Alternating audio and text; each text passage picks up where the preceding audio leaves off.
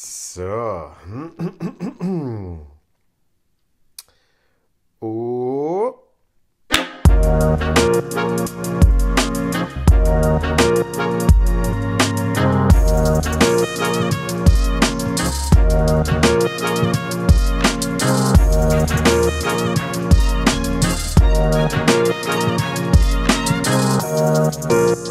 Oh.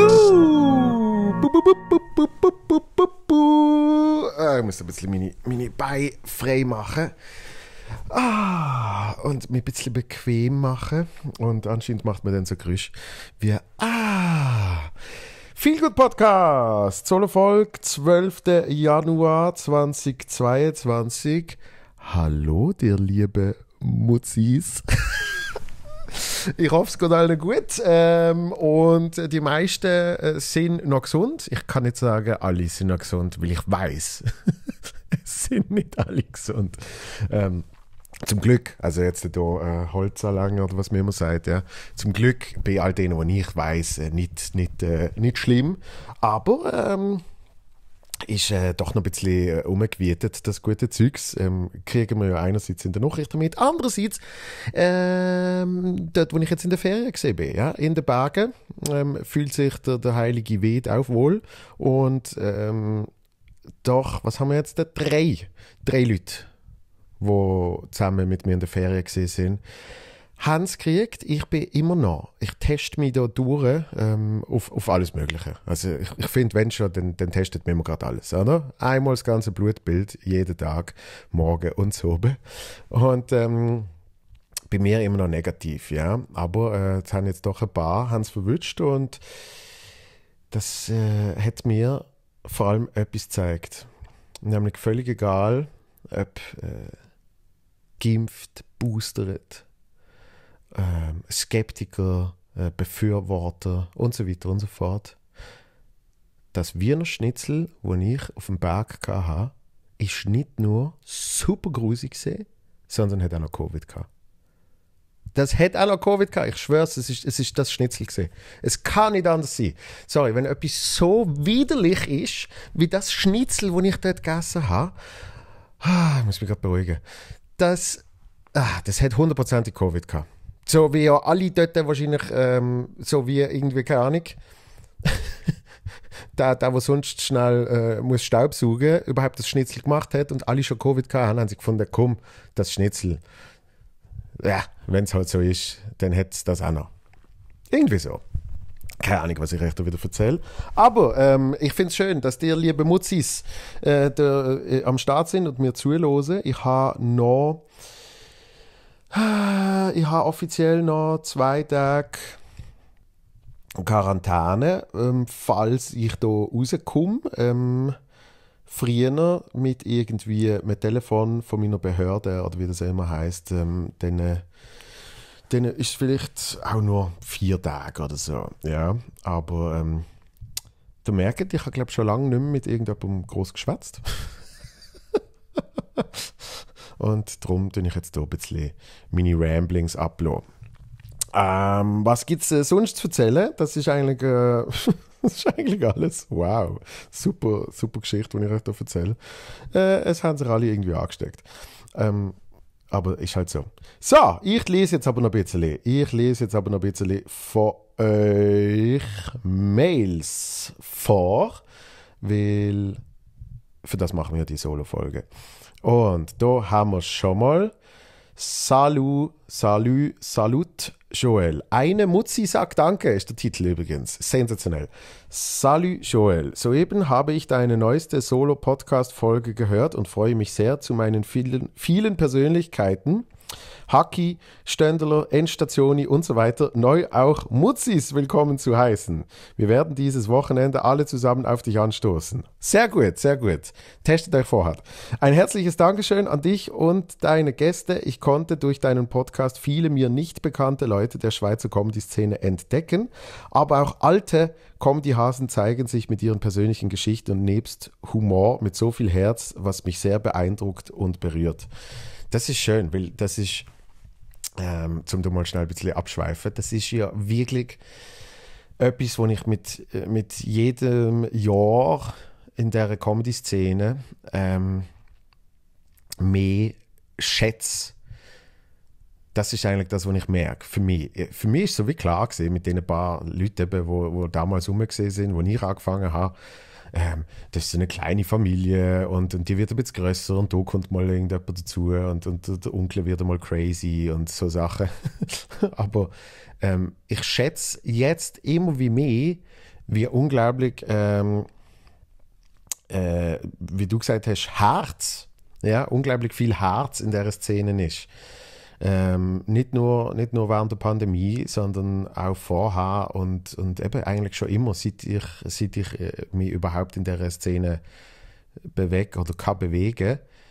Und es, es ändert sich nicht. Und das ist etwas Positives, ja, weil es könnte riesen, es könnte riesen Zerfall geben, aber das ist einfach nicht so. Und ich finde es so geil an dem, dass ich einfach mit, mit Menschen zusammenkomme, wo ich sonst vielleicht nicht würde, aber wir haben alle etwas ganz Großes gemeinsam. Egal äh, von wo wir sind, egal äh, was, wir, was wir sonst in unserem Leben gemacht haben, ähm, kommen wir durch die Liebe zur Comedy irgendwie zusammen. Und allein das verbindet einem schon so fest, dass ich einfach, äh, ja, dass ich einfach immer happy bin, wenn ich, wenn ich andere Leute sehe, die auch mit Comedy etwas zu tun haben und, und man automatisch eben so eine Connection hat und, und es geht dann gerade los. Habe ich gemerkt, als ich den Jahresrückblick äh, zusammengeschnitten habe, mit, mit dem Aaron Herz äh, lange über das geschwätzt. Und das, das ist einfach genau das. Man fühlt sich, man fühlt sich irgendwie gerade aufgehoben. Ja? Und äh, umso schöner, wenn man das irgendwie kann transportieren kann, wie zum Beispiel dir, wo das geschrieben hat und die, äh, die das irgendwie auch ein bisschen kann mitnehmen in die Welt. Ja? Da ich deinen sowie die Podcasts deiner Kollegen jeweils nachgehört habe, habe ich leider eure Shows in Luzern immer knapp verpasst. Grüße gehen raus an Matteo und Moritz. Ja, unbedingt. Aber die Tickets für deine Show im März in der Braui in Hoftere habe ich mir gesichert. Wir freuen uns. Liebe Grüße und ein gutes Neues, Laura. Danke vielmals, Laura. Danke, danke, danke. Dann freue ich mich sehr auf. Äh, Hof, sagt mir jetzt doch Hoftere, hast du geschrieben, ja? Ich, ich habe es, glaube anders in Erinnerung gehabt, aber was weiß ich schon. Dann haben wir nochmal eine Nachricht. Also der Name für deine Zuhörer finde ich super. Ich bin jetzt also ein Stündler Mutzi kein Absender, von meinem iPhone gesendet.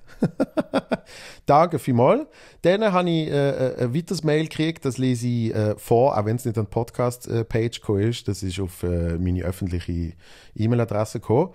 Hallo Joel, ich habe mir gerade ein persönliches Geburtstagsgeschenk gemacht und werde deine Show im Kopfmail freudig und hoffnungsvoll anschauen. Ich hoffe, dass deine Tournee und so weiter ohne Hindernisse über die Bühne gehen kann. Seit der Pandemie gehört dein Podcast und so weiter zu meiner Feel Good Vibe. Vibes. Bleib gesund, Gruß aus Biberist, Daniel. Oh, jetzt habe ich den ganzen Namen gesagt. Gut, du hast es geschrieben im Mail. Äh, ich pfiff das raus. ähm, das finde ich äh, auch schön. Äh, danke vielmals. Daniel, ähm, weil das ist, äh, das ist jetzt eine von der wenigen Shows, wo ein bisschen später stattfindet. Tatsächlich, äh, die haben wir schieben, weil wir haben gemerkt, dass wahrscheinlich seit Monaten, wenn nicht sogar Jahren, der Ticketlink nicht funktioniert hat. Ähm, wir wissen nicht, wo der Fehler war, aber irgendwann hat es äh, einen gegeben. Und da haben wir halt erst ein paar Tage vor der Show gemerkt. Und ich weiß nicht, ich habe die ganze Zeit so Ticket-Updates gekriegt und immer gedacht, boah, also, dass gar keine Tickets gehen und dass wir so wenig haben, das ist sogar für meine Verhältnisse und sogar während Pandemiezeiten sehr wenig. Und ähm, hat sich dann herausgestellt, weil die Personen, die mal haben wollen, ein Ticket kaufen, es nicht haben können und denkt haben, ja, ist halt, ist halt so. Darum äh, haben wir entschieden, jetzt schieben. Solothurn, ich komme nicht morgen, sondern ich komme am 6. April. Äh, nebst allen anderen Tourdaten, die immer noch aktuell sind und äh, so wie es jetzt aussieht, auch durchführbar sind. Also freue ich mich sehr drauf. Äh, auch auf dich, Daniel. Freut mich sehr, dass du dann die Geburtstag, also entweder dann feierst oder zumindest dann die Geschenke einlöst. Und jetzt äh, haben wir nochmal eine Mail. Ah, das ist ganz frisch reingekommen. Liebe Schölle mit deinen Mutzis. jo, ich habe gewonnen. Letzten Freitag bin ich durch die ganze Küche tänzelt, wo ich die Solo gehört habe. Wir heißen Mutzis und ich habe so einen tollen Preis gewonnen. So toll, danke. Ich freue mich jetzt schon ich freue mich schon jetzt, nochmal die Programme zu sehen auf das Güble und das tolle Shirt. Mal schauen, ob ich reinpasse. Habe wirklich voll Freude. Liebe Grüße, Moni. Sehr gut, du bist tatsächlich Gewinnerin. Und dann hat sie noch eine Mail geschrieben. Ah, da mit Foti. Sehr gut. Du bist schon schauen in, wo ist das? Basel. Weltklasse. Das äh, freut mich riesig und absolut. Das heißt, äh, du gibst mir noch Bescheid, ob du äh, ich nehme an, wieder zu Basel willst kommen. Und dann machen wir das mit deinem Hauptpreis. Du hast Schmutzis vorgeschlagen als Erste und somit auch zu Recht gewonnen. Yes! Das ist, ähm, das ist eigentlich so ein bisschen das Update für den Moment. Äh, viel mehr habe ich jetzt eigentlich auch gar nichts zu erzählen. Es ist äh, die klassische Januar- Lochphase. Ich bin daheim. Ähm, und warte auf äh, weitere Test äh, und äh, Contact Tracing Menschen, wo mir sagen, was ich jetzt soll machen. Bis dann. Zum Glück habe ich einen neuen Staubsauger. Sensationell. Was da sucht du. Pah, ich, ich mache da freudig, äh, mache ich da meine Riesenwohnung. mache ich in einer halben Stunde mit dem und äh, schaue, dass äh, meine mittlerweile vier Pflanzen nicht sterben, drei davon Kakteen. Ähm, aber die, die sind bis jetzt auch alle noch äh, freudig mit mir da und wir werden das äh, durchstehen. Yes! Das ist eigentlich schon alles. Vielen Dank. Äh, kurze Folge heute, ich weiß, wird wieder mehr, wird wieder mehr. Jetzt können wir dann wieder die Folge mit den Gästen. Zum Beispiel schon der Freitag Bastian Baker. Yeah. Und äh, hoffe, allen, es, geht, äh, hoffe, es geht allen gut. Ja? Schreibt weiter äh, fließig äh, Mails, podcast at joel von mutzenbecher.ch. Ähm, gern vorstellen, weil wir sind ja jetzt eigentlich durch mit eurem Namen. Das heißt, wir können wieder etwas Neues anrissen, sozusagen.